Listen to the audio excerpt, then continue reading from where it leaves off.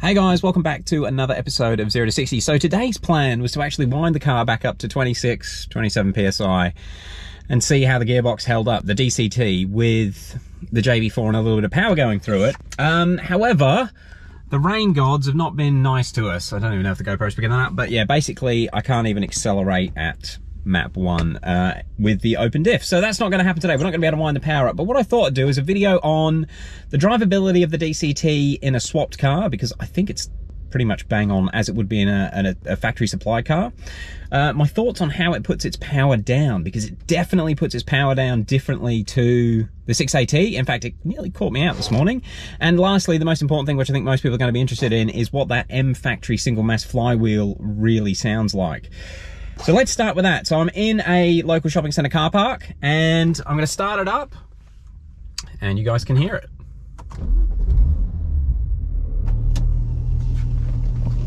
Seat belt helpers come out. Okay, so we'll just let everything quieten down.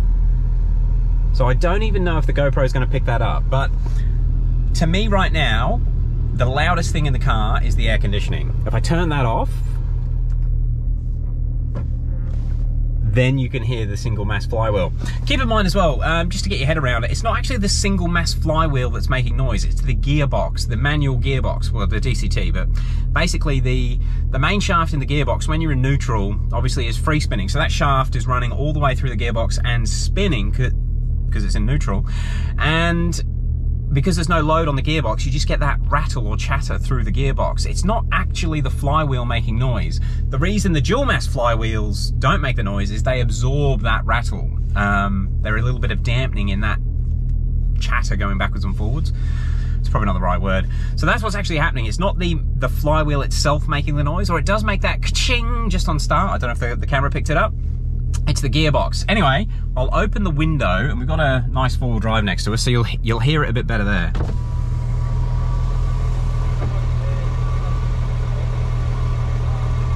Remember, no under trays on this car?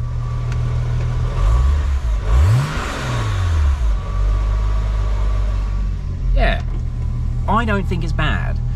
Um, in fact, I can't think of why you would have an issue with the M Factory flywheel after driving with it for a few hours. Uh, what I am going to do now, I'll put the AC back on.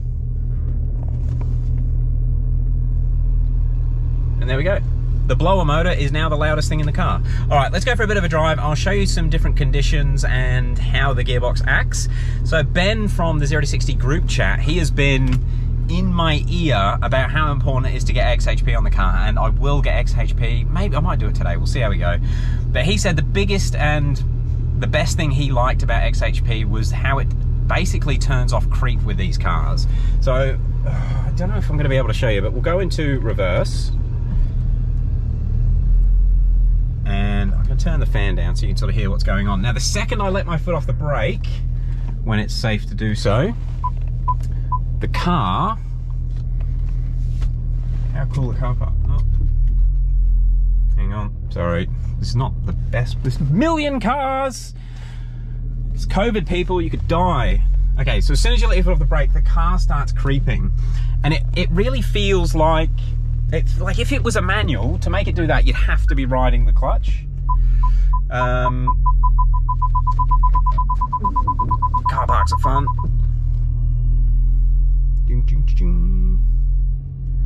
Cool. And we can go again. In fact, I'll try and show you that again. That was probably a really bad display, but you get an idea of what the gearbox is like. So we're still and foot off and it moves straight away. So the, the, really the car is trying to move I feel like the, the gearbox is trying to move all the time, and that's what this creep function is. Where apparently with XHP, it won't move until you touch the accelerator, which has got to be better on the clutch packs.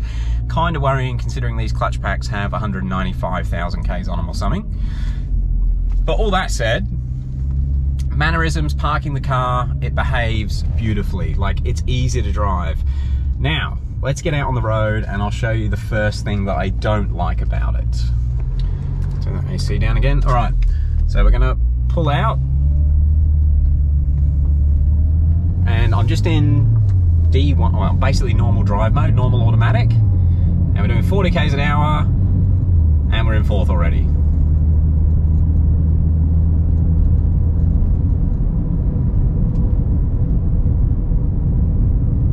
It's pretty mental. All right, I got some traffic. And we'll keep going, we'll keep going. But guys, just try and pay attention to what gear we're in. So we're in second. It's doing all the shifting on its own. I'm very light on the throttle.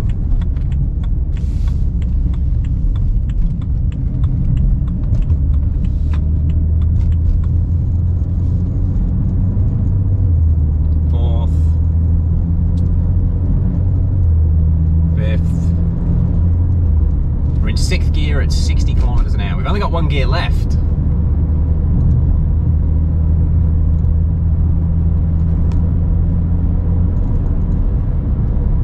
We're in seventh gear. That is madness. Seventh gear at 60, and now I'm slowing down. Uh, it's downshifted. So the issue with that is, I feel that seventh gear at such low speeds is, it just, it, the car feels like it's laboring. It doesn't feel like it's nice on the engine. It feels like I'm loading the engine too much to be cruising around. Our E60 M5, when you're in the SMG mode one, it does exactly the same thing. It changes into seventh gear at about 65 k's an hour. And even within the V10, when you've actually got like naturally aspirated power, like this has no power when it's off boost. Even that, it feels bad. So what I have been doing, actually we'll do another acceleration. Well, traffic acceleration. Also, please keep an ear out for that flywheel, like I can't hear it.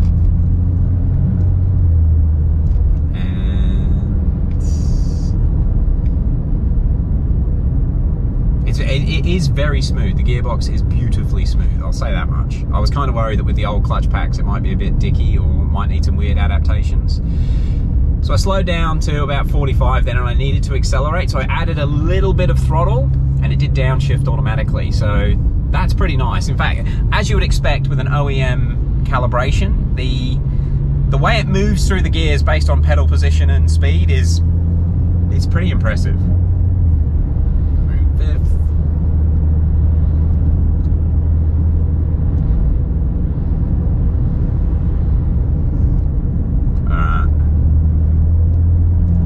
Hoping to get into seventh. I want to actually load it up in seventh for you guys. So sixth gear under 60 kilometers an hour again. It's madness. Ah, right, we're coming up to a faster bit. Bear with me, bear with me. And you can see it downshift. Fifth. You can't, oh, you bastards. All right, we got a red light. I'll bring you guys back once we're accelerating onto the hundreds. All right, turn the AC down again got a little bit of a um, little bit of a vibration then as it let the clutch out. But I mean, not too bad. I was probably a little bit more aggressive on the throttle than I would normally. So anyway, hopefully we'll get up to seventh gear. We're in sixth at 60.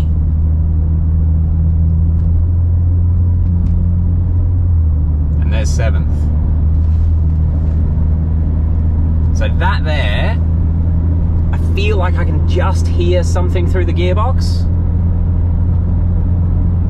But again, it's not as loud as the wind noise, AC's right down, and it's probably not as loud as the tyre noise. But yeah, we're not revving enough. It should be revving more at this sort of speed. We get up to 100, and she's all right. So that's my first issue. That took way longer to explain than I thought it would, but basically it's too slow to go through the gears in D mode. What I've been doing whilst I've been driving around this morning, and I've only done 50 kilometers in it, is D in sport mode. When sport mode is on, which you get the little sport logo there, it's nearly perfect. Like the way it goes through the gears is great, and when we do it when we accelerate from the roundabout at the next junction, I'll show you how it goes through the gears in sports mode. And while we're at this highway speed, I just thought to show you my paddles. We go one, two, three, down to fourth, even third, then boom.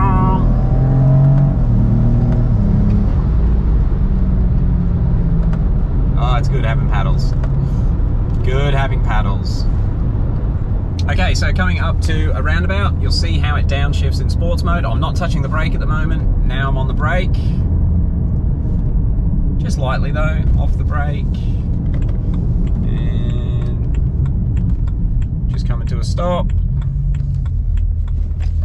In D1. It always goes to D1, even in full auto mode, not sport. in third gear at about 40 going around the roundabout and accelerating off the roundabout. The shifts are noticeably quicker in sports mode.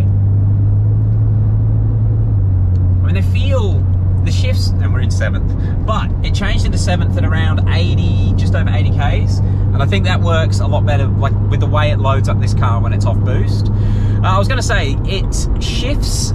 It feels instantly quick, even in basic bottom of the range auto mode. However, in sports mode, the tone of the engine changes a little bit on the shift, where the engine doesn't really make any noise difference in full auto. It's, it must be a smoother transition, but you can hear it bring the revs down a little bit when it's in sports mode. All right, um, yeah, I guess the last thing to show you is full acceleration in sports manual. I've just noticed uh, it's starting to rain again thought the road was going to be dry, then we could wind it up a little bit. All right, we'll get to a safe spot and we'll do a um, proper acceleration. So I just cruising along again about 70 k's an hour. I just had a bit of a thought. I'm thinking about noise inside the cabin. So this car, when I fitted the BC coilovers with the spherical bearings and the strut tops, or solid mount strut tops, some people call them, they the road noise in the cabin increased quite a lot. Um, in fact, I was a little bit taken back by it at first, but you get used to it pretty quickly. I reckon that the the coilovers make as much noise in the cabin, if not more noise in the cabin than the single mass flywheel has caused. That's probably the best way I could um, try and mm, compare the two noises. Again, once you're driving, once you got the AC on, once you got the radio on, you do not hear it. Sitting at the lights, in auto, like you can't really hear it. I'm pretty impressed with the lack of noise from it. Anyway, let's get this acceleration done because I want to document really what it accelerates like before we put XHP on it. Okay, now unfortunately for me, it's actually a properly wet road, but let's just show you how it will accelerate with traction on. God. That was a bit pointless because it was just traction all day long.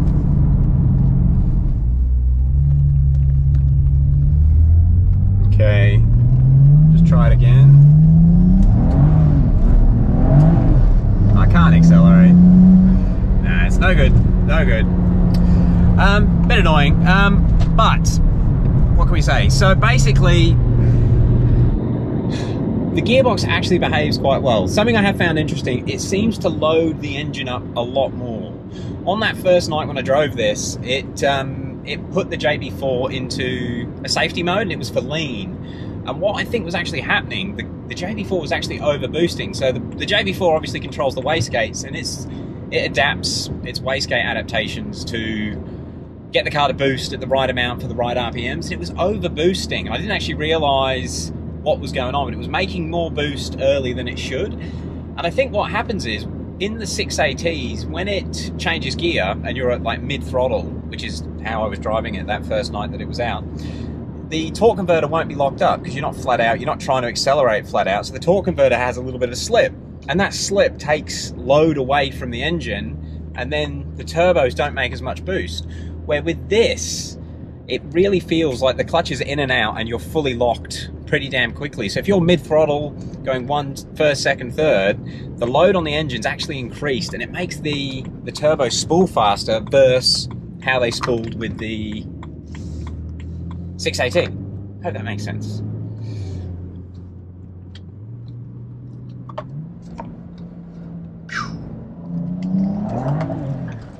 it's fucked up. Ah. With the 6AT, you can do that, you click a gear and it won't keep spinning, but it spun straight away as I went into third gear then. It, um, you definitely got to be paying a bit more attention with the DCT, although hopefully these problems won't be so pronounced once I've got an LSD. And I'm not doing this in the wet either. It's pretty good though.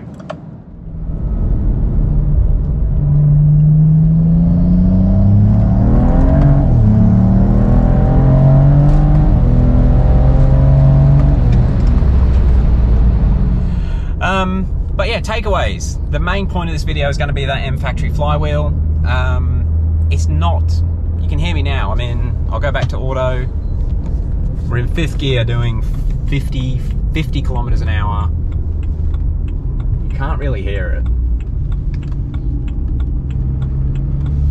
Little bit there, but yeah, I mean, I, I, I don't know why these people have made so many complaints about the flywheel noise. All I can put it down to is if you're in your garage and you've got your window open and you start the car, you're going to hear it because it's going to echo off the walls. But for actual driving,